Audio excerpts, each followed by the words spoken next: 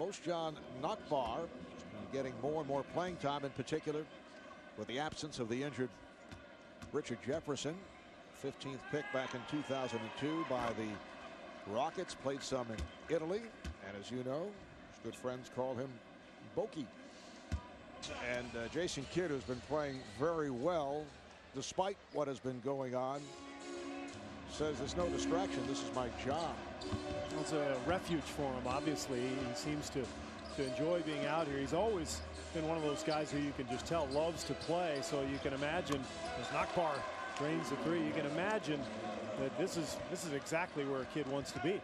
The Nets. That's a beautiful play. Floor spread, and you give Corey Maggette the entire lane area to work. And he's so strong that if he gets his shoulders past you, as he did with Nachbar, then he's going to get great position. Nachbar. So the Clippers now lead at 81-70. From the Clippers, spread the floor, get a double team, move the ball. That's what they did in the first half.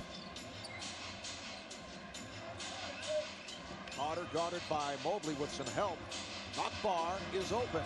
Yes, that's a three for Nachbar. The double team on Carter led to the open shot. Established came in inside and then spread the floor with shooters. That's why Tim Thomas was brought here. Here's Carter for three. Yes, a catch and shoot for Vince Carter from downtown.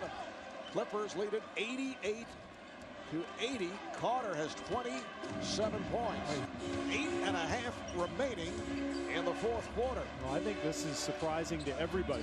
we heard Charles before halftime say it's going to be a long night watching this game.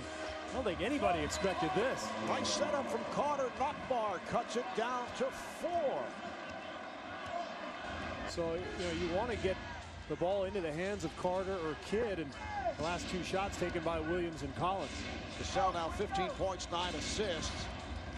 Nachbar open for three. Yes.